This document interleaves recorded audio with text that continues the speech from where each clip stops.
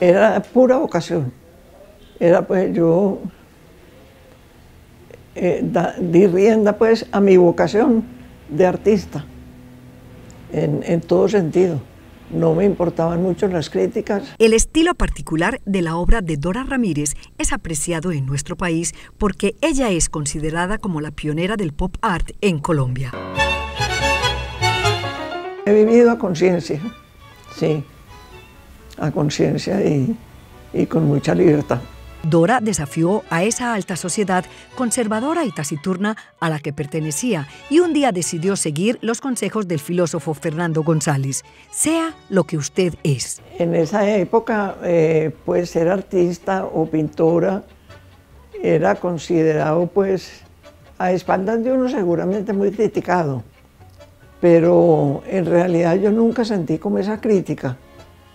Eh, si me decían loca, pues hasta me daba risa. Pero nunca fue como un obstáculo para mi vocación.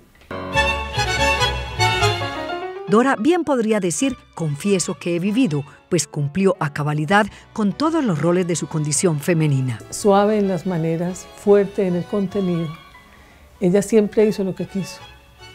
Pero además nunca dejó de ser mamá, una mamá muy presente que nos estimulaba pero pues a morir.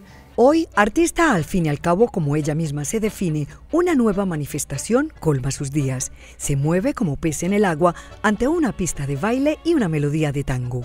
Su legado artístico, su versatilidad y forma de vida hacen de Dora Ramírez una mujer sin miedo.